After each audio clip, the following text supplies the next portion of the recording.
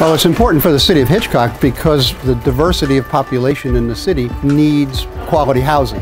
And to have this kind of a development uh, and have it redone the way it was uh, is a real value, I think, to the citizens of Hitchcock. It's important that we get these, these units like these back online since Hurricane Harvey and we can get more, get the residents back into their, their places where they live. It's great that the General Land Office can give them this help. You know, it's, it's really a great thing. And looking around the units, they've done a great job. After the renovations, I was amazed of the work they did. Everything's uh, freshly new. It's, it's amazing what they did with the properties. They came a long way from where they were. To thank the General Land Office for all the work they've done um, here in Galveston County since Hurricane Harvey, certainly. Um, we're glad to have them uh, and be a partner with them.